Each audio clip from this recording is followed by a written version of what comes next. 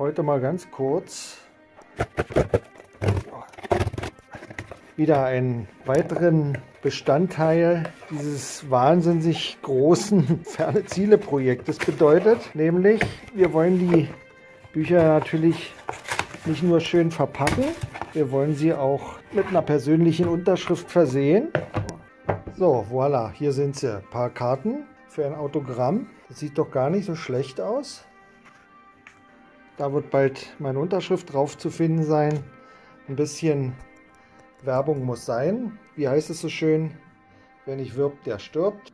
Also wieder ein weiterer Baustein, fertig. Äh, jetzt fehlen nur noch die Bücher, die sind in Arbeit, die gibt es bald. Und dann geht es bald los mit Ferne Ziele, Geschichten, über die Berliner Schule für elektronische Musik. Ich freue mich.